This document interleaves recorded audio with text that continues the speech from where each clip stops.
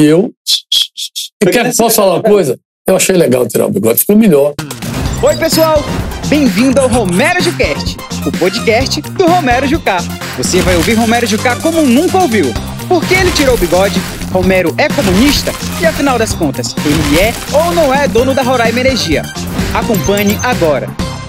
Olha só, você não errou de rede social. É aqui mesmo. Olha, vamos bater um papo legal hoje no estilo podcast com Romero Jucá. Bom, na verdade, como é que a gente deve chamar o senhor? Vossa Excelência, ex-senador Romero Jucá, Romero Jucá, Jucá. Romerão. você É, como você prefere ser chamado? Jojo Clara.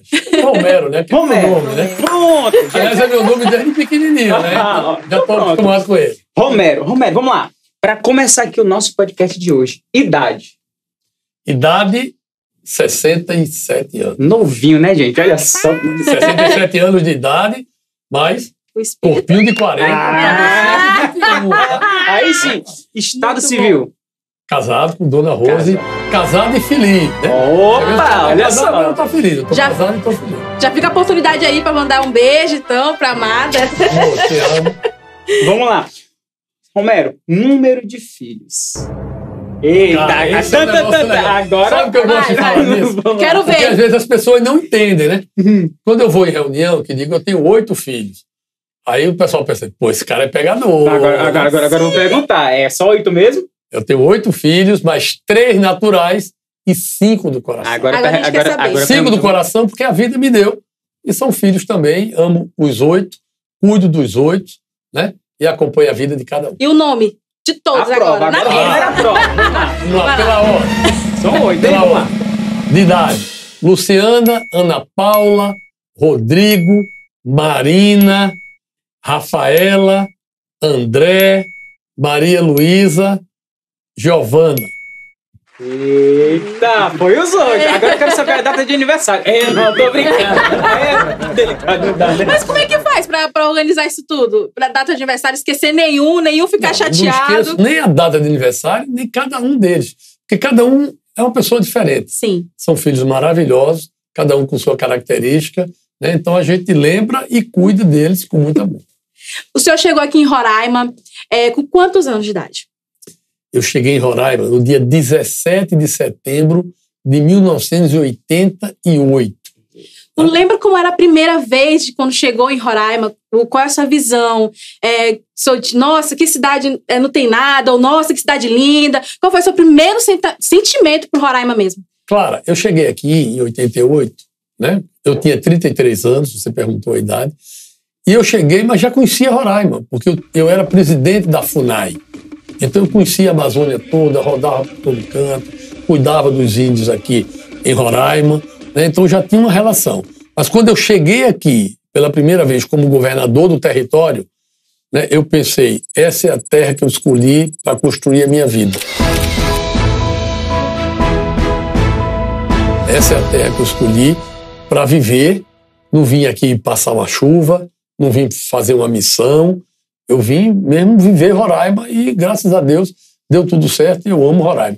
Eu sou pernambucano de nascimento e roraimense de coração. Cara, não, foi, não foi muita responsabilidade com o senhor, não? Vim já como governador para cuidar de uma Roraima tão amada? É, na verdade, né, a Constituição brasileira tinha criado o Estado de Roraima. E o presidente Sarney, que era o presidente da República, confiava em mim e entendeu que eu podia vir para cá para implantar o Estado, fazer a transição, porque o Estado iniciaria 1 de janeiro de 1990. Então eu vim para cá, fui um ano e seis meses governador, Uhum. fiz muita coisa que está por aí, né? A gente, eu me orgulho muito do trabalho que nós fizemos e continuei aqui, estou vivendo a minha vida em A- Roraima a- com muita satisfação e muita felicidade. Já que o senhor resolveu ficar, agora eu quero. Eu quero não, o pessoal também quer saber. O senhor resolveu ficar por quê? Bom, eu vim para ser governador do território, implantar, bebi água do Rio Branco, Ó, né? e aí a tradição valeu muito, mas também entendia que Boa Vista, que Roraima, era um estado de futuro. Né? E eu, como jovem, com 33 anos, eh, vi a perspectiva de ajudar a construir esse estado.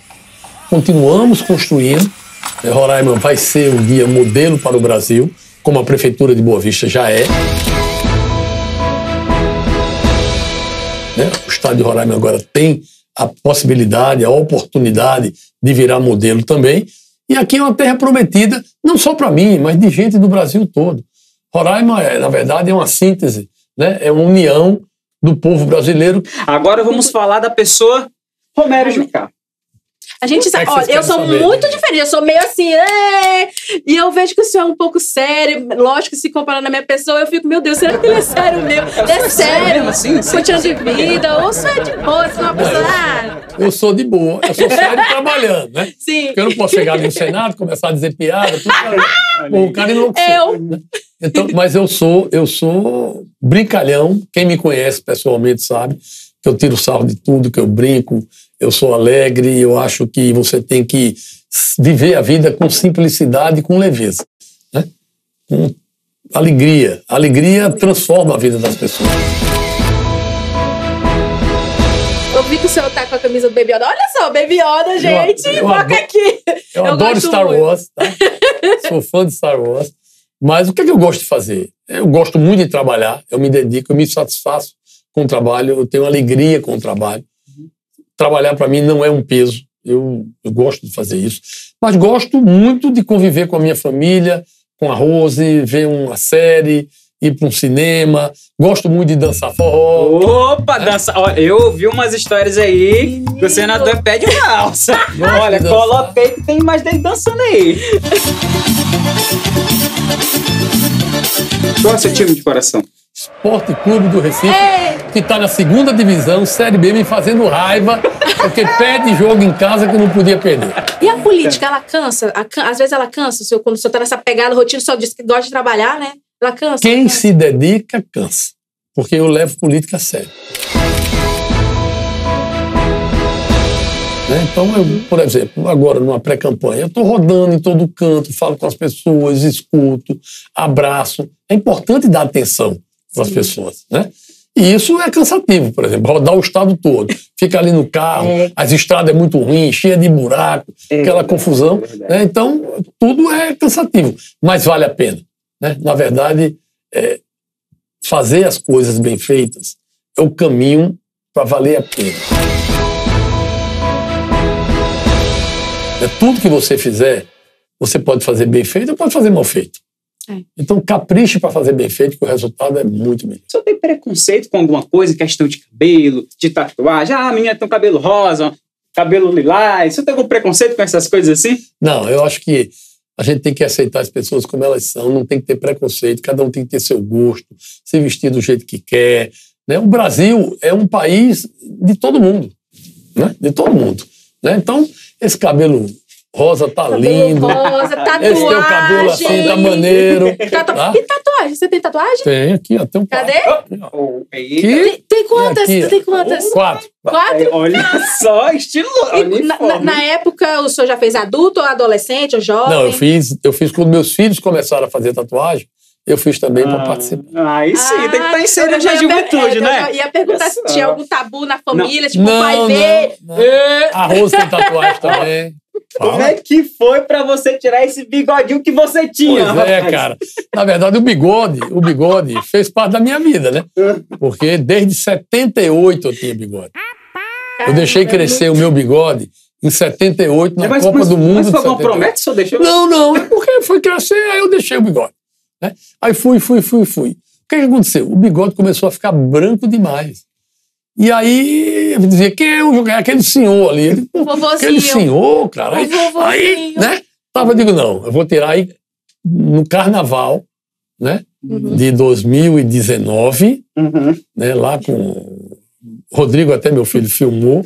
E eu Foi tirei o bigode. E foi que quer, posso falar uma coisa? Eu achei legal tirar o bigode, ficou melhor. Ei, foi que nessa daquela jovem. novela.